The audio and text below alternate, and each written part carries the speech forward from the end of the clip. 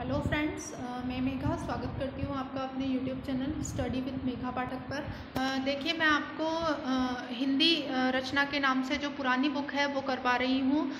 हिं, नवीन हिंदी व्याकरण एवं रचना के नाम से जो बुक पहले चला करती थी देखिए बहुत ही इंपॉर्टेंट बुक है वो। उसमें से कई सारे क्वेश्चन बहुत सारे इवन सिर्फ़ माध्यमिक शिक्षा बोर्ड द्वारा बनाए हुए पेपर्स में ही नहीं बल्कि दूसरे कई पेपर्स में भी देखे गए हैं। तो मैं आपको वो बुक कंप्लीट करवाऊँगी। बाकी रचना प्रबोध में अगर कोई एडिशनल दिया हुआ होगा तो वो भी हम यहाँ पर कंप्लीट करेंगे। इस तरीके से हम दोनों बुक्स को कवर करते हुए प्रिपरेशन करेंगे। तो देखिए, मैं आपको समाज पढ़ा रही थी और समाज का एक पार्ट मैं कंप्लीट करवा चुकी थी। दूसरा पार्ट मैं आपके लिए लेकर के आई हूँ। आप प्लीज़ अभी मेरे वीडियो को शेयर कर दीजिए, इसको लाइक कर दीजिए, दोस्तों से भी शेयर करिए। मेरा जो चैनल है, उसे सब्सक्राइब कीजिए, उसका जो बेल आइकन है, उसे प्रेस कर दीजिए, ताकि आपको नया नोटिफिकेशन मिल सके। क्योंकि मैं रेगुलर यहाँ पर वीडियोज़ अपलोड कर रही हूँ रेगुलर प्रिपरेशन करवा रही हूँ और जो दो सितंबर जो हमारे शिक्षा मंत्री जी ने जो डेट दी है उसके एक महीने पहले यानी कि जुलाई लास्ट तक मैं आपको पूरा आपका कोर्स कंप्लीट करवाने की पूरी कोशिश करूँगी। हालाँकि कोर्स है जो वो काफ़ी लेंदी कोर्स है, लेकिन फिर भी हम पूरी कोशिश करेंगे कि उसे कवर कर लें। तो आप प्लीज़ मेरे साथ जुड़े रहिए और मेरा जो वीडियोज़ हैं उनको अपने दोस्तों तक जो प्रिपरेशन कर रहे हैं उन तक भी पहुँचाइए।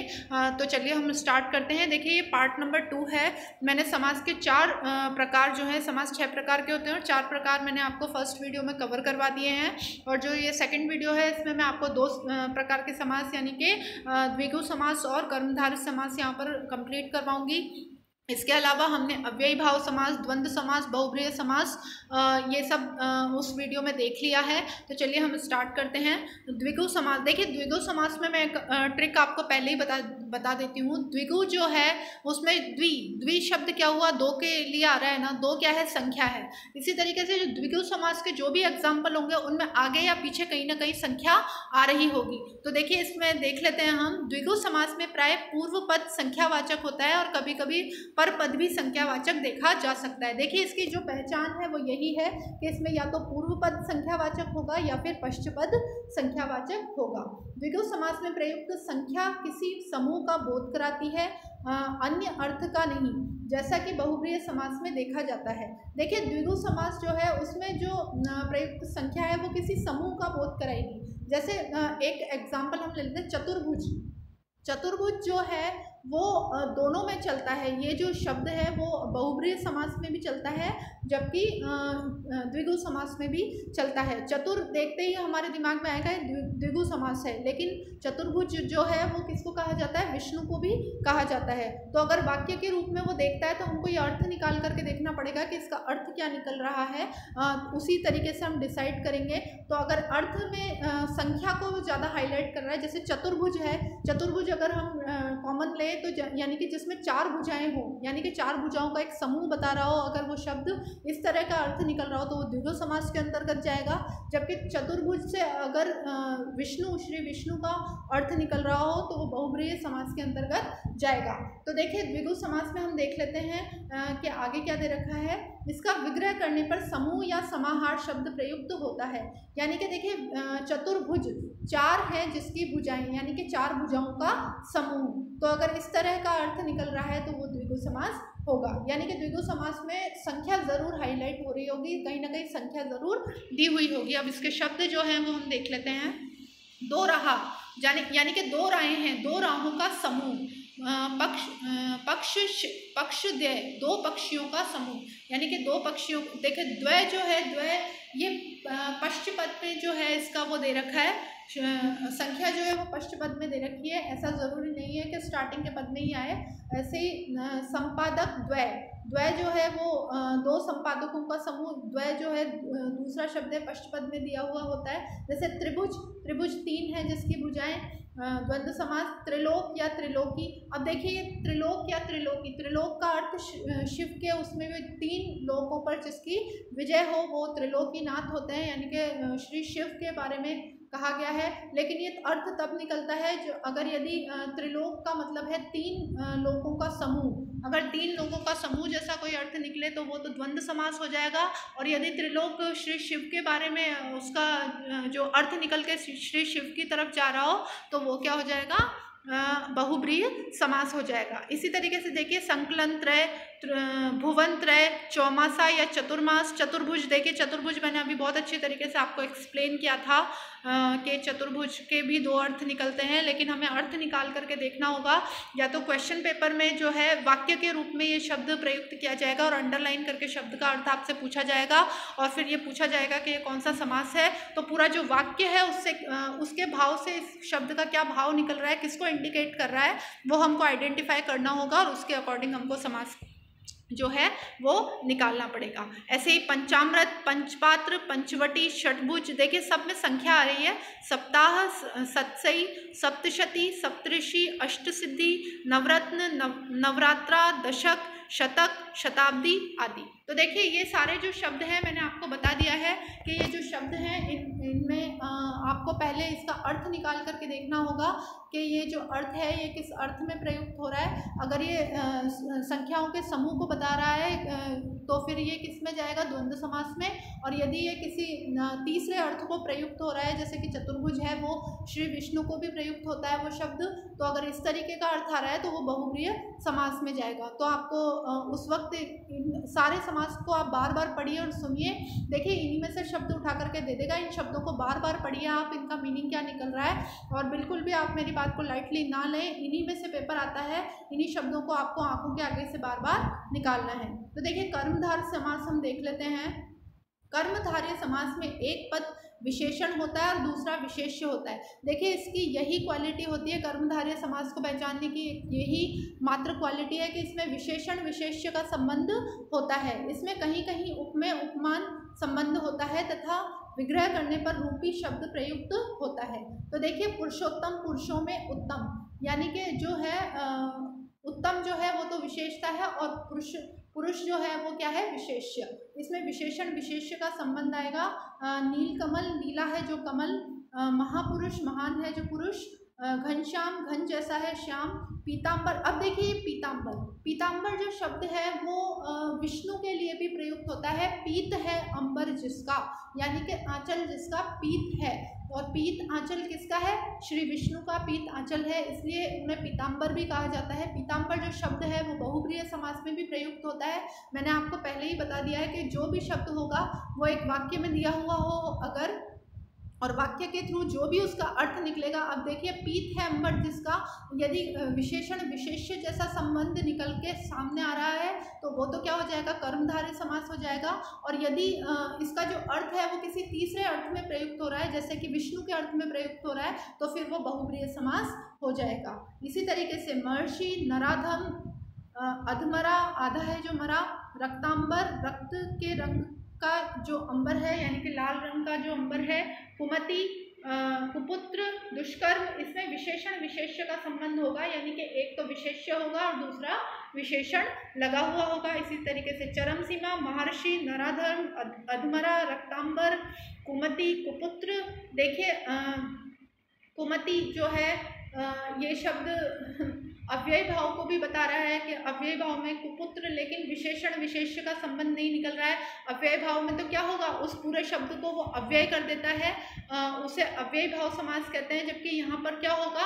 आ, कुपुत्र यानी कि वो पुत्र जो कि कुत्सित पुत्र है जो कि यानी कि नकारात्मकता लिए हुए जो पुत्र होगा, यानी कि विशेषण विशेष का संबंध निकल रहा होगा। आपको बहुत ध्यान से इनको सॉल्व करना पड़ेगा फ्रेंड्स समाज कोई इजी नहीं है। आपको समाज का विग्रह करके देखना पड़ेगा, शब्द को अच्छी तरीके से आइडेंटिफाई करना होगा और यदि वहाँ वाक्य आ जाता है, वाक्य के अंदर शब्द प्रयुक्त करके देते हैं और अंडरलाइन करके दे देते हैं कि शब्द बताइए, कौन सा समास है? तो आपको पहले उस शब्द का पूरा अर्थ निकालना होगा कि ये अर्थ किसकी तरफ़ जा रहा है? क्योंकि एक ही शब्द है, उसके तीन तीन चार चार अर्थ निकल रहे होते होते हैं, वो तीन तीन चार चार अर्थ में प्रयुक्त होता है तीन तीन चार चार समासों के अंदर वो फिट हो जाता है, इसलिए हमको बहुत अच्छी तरीके से उस क्वेश्चन को सॉल्व करना पड़ेगा। इसी तरीके से देखिए, शुभ, शुभागमन, नीलोत्पल, मृगनयन, चंद्रमुख, राजश्री, नरसिंह, मुखचंद्र, वचनामृत, भवसागर चरण कमल क्रोधाग्नि चरणबंद विद्याधन देखिए, इन शब्दों का बार बार देखें, ये जो शब्द हैं, इन्हीं में से क्वेश्चन पेपर में आ सकते हैं, काफ़ी संभावना है कि इस वाली बुक में से क्वेश्चन पेपर में कई बार शब्द देखे गए हैं, इसलिए हम इस शब्द की इन इसकी स्टडी कर रहे हैं। इसके अलावा मैं हिंदी रचना प्रबोध में भी एक बार चेक कर लूँगी कि इनसे अलग और शब्द दिए हों तो मैं आपको उनके भी जितने भी शब्द हैं, वो सारे शब्द करवा दूँगी। पर मैं पहले एक बार चेक कर लूँगी। देखिए, अब अभ्यास प्रश्न है, पीछे जो बुक है, उसके अंदर कुछ अभ्यास प्रश्न दिए गए हैं। वो अभ्यास प्रश्न हम एक बार देख लेते हैं कि हमने क्या किया है और ये इनको सॉल्व करना भी बहुत ज़रूरी है क्योंकि सीधा कई बार इन्हीं को उठा करके क्वेश्चन पेपर में डाल दिया जाता है। तो देखिए, समास कितने प्रकार के होते हैं? हम सभी जानते हैं कि समास क्या है? छः प्रकार के होते हैं समास। दूसरा जो है, वो है निम्न में से समास का प्रकार नहीं है। अब देखिए, समास के प्रकार जो है वो छह प्रकार है। अव्ययी भाव समास हाँ बिल्कुल होता है। बहुप्रिय समास, ये भी होता है। द्वंद्व समास, ये भी होता है। अविकारी, देखिए, अविकारी जो है वो समास नहीं है, जबकि प्रयोग के आधार पर एक शब्द है। विकारी और अविकारी दो प्रकार के जो शब्द होते हैं। और अविकारी शब्द में अव्यय शब्द जो हैं वो प्रयुक्त किए जाते हैं। इसलिए जो अविकारी है वो समास का प्रकार नहीं है। तो देखिए, तीसरा जो है वो निम्नलिखित में से अव्ययी भाव समास है। अब देखिए, अव्ययी भाव समास का जो है, हमको क्वालिटी पहले ध्यान रखनी होगी कि पहला पद जो है वो प्रधान होता है इसमें और जो शब्द है वो अव्यय होगा। अव्यय मतलब जो कि लिंग, वचन, कारक, काल आदि के अनुसार नहीं बदलता है। तो देखिए, राजपुत्र, क्या वो राजपुत्र है? राजपुत्र तो क्या हो गया? राजा का पुत्र।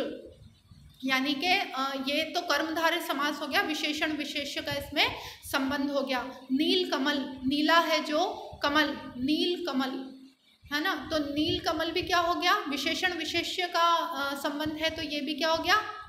कर्मधारय समास हो गया। हाथों हाथ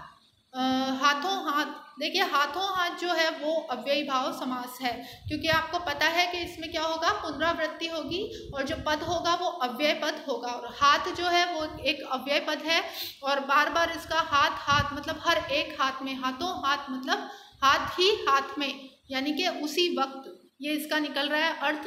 तो जो जो जो पद हो गया वो अव्यय भाव में ग आएगा यहाँ पर। हाथों हाथ जो है, लंबोदर तो आपको पता है कि लंबा है उधर जिसका, ये भी किसको है? बहुप्रिय समास है।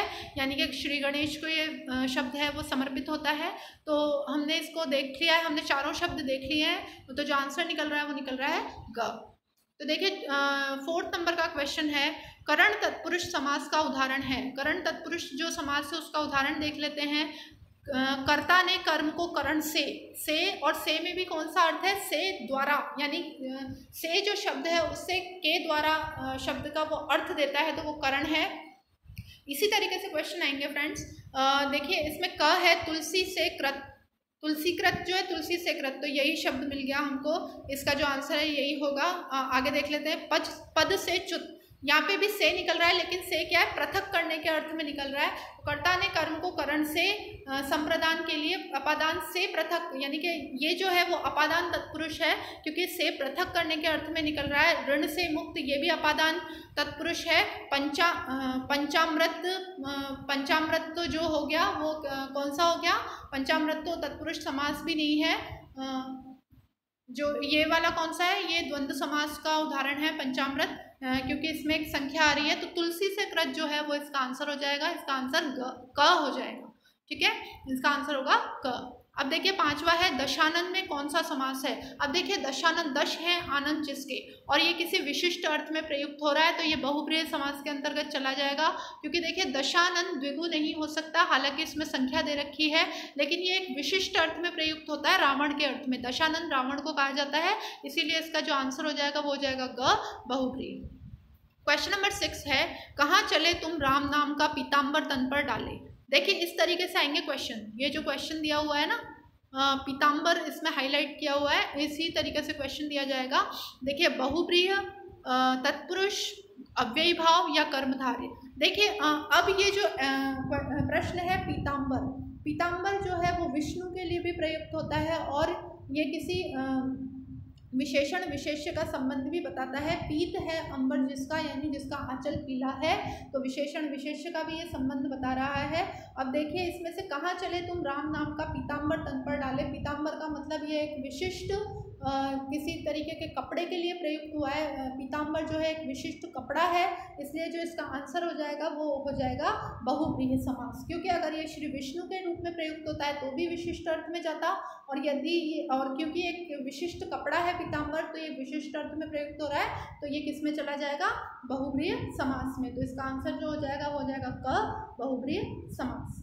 देखिए, क्वेश्चन रिपीट हो गए हैं। सिक्स तक। सेवन नंबर का सिक्स तक हम कर ही चुके थे। सेवन नंबर का जो क्वेश्चन है वो क्वेश्चन हम देख लेते हैं। किस समास में विशेषण, विशेष्य या उपमा, उपमेय का संबंध होता है? हमने बहुत बार पढ़ा है कि कर्मधारी समास जो होता है, उसमें विशेषण, विशेष्य का संबंध होता है। तो जो इसका आंसर हो जाएगा वो हो जाएगा क कर्मधार्य समास। तो देखिए लास्ट क्वेश्चन है इसमें। हाँ लास्ट क्वेश्चन है द्वंद्व समास किसमें नहीं है? द्वंद्व देखिए द्वंद्व में आपको पता है कि द्वंद्व के अंतर्गत क्या होता है? दो पद होते हैं दोनों पद ही प्रधान होते हैं और जब उनका विग्रह किया जाता है तो और या या विभक्ति उसके अंतर्गत निकलती है। तो इसमें से देख लेते हैं धर्म धर्माधर्म धर्म या अधर्म तो ये भी इसका द्वंद्व समास के अंतर्गत आता है। घर घर देखिए घर घर जो है वो आ, उसमें घर और घर नहीं होता घर घर का मतलब है प्रत्येक घर, ये पूरे उसको अव्यय बना रहा है तो ये अव्यय भाव समाज का उदाहरण है। तो ख वाला इसमें नहीं होना चाहिए, रुपया और पैसा, रुपया और पैसा में और निकल रहा है तो ये भी है। दाल और रोटी में दाल और रोटी और निकल रहा है तो ये भी है। यानी कि जो ख है, वो घर घर जो उदाहरण है वो घर घर जो शब्द है, वो शब्द अव्यय भाव को बताता है। इसलिए इसका जो आंसर है, वो ख हो जाएगा, अव्यय भाव समास हो जाएगा। घर घर शब्द। तो देखिए यहीं पर हमारे जो है समाज का जो टॉपिक है वो कंप्लीट होता है। इसके बाद हम नेक्स्ट नेक्स्ट टॉपिक में लेकर के आऊँगी आपके लिए। इसके बाद हम या तो संधि देख लेंगे कि संधि में क्या दिया हुआ है। सारे जितने भी एग्ज़ाम्पल हैं संधि के वो करेंगे, संधि विच्छेद करके देख लेंगे उनके। तो इस तरीके से मैं आपको आगे भी जो वीडियोज़ हैं उनमें बहुत सारी जानकारी दूँगी। और नवीन हिंदी व्याकरण एवं रचना जो बुक है वो मैं आपको इसमें कंप्लीट करवा रही हूँ। आप मेरे साथ वीडियो से जुड़े रहिए। आपको बहुत बेनिफिट मिलेगा। मिलते हैं नेक्स्ट वीडियो में।